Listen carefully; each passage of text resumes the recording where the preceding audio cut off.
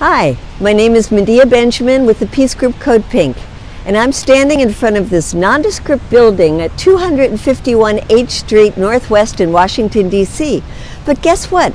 It's actually the headquarters of the largest foreign policy lobby group in the United States called AIPAC, the American Israeli Public Affairs Committee. I wonder why it doesn't display its name. Maybe it doesn't want you to know it's here.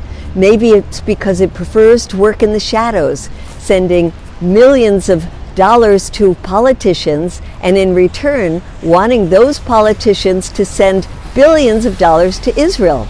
That's why almost $4 billion of our tax money every year is going to Israel.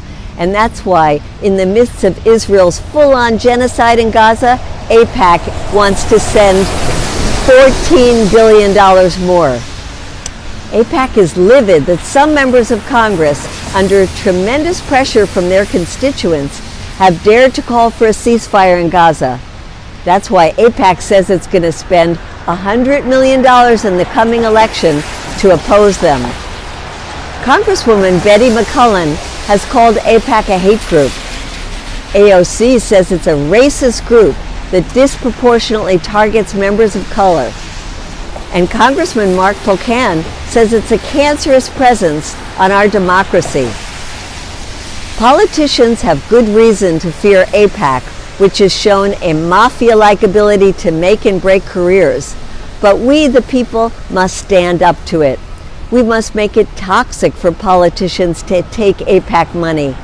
We must support Jewish groups calling for a ceasefire, like Jewish Voice for Peace, and IfNotNow and we must continue to build a torrential wave of people power so strong that politicians will have no choice but to do the right thing, to call for a ceasefire, to stop sending our money to Israel, and to stand up for a free Palestine.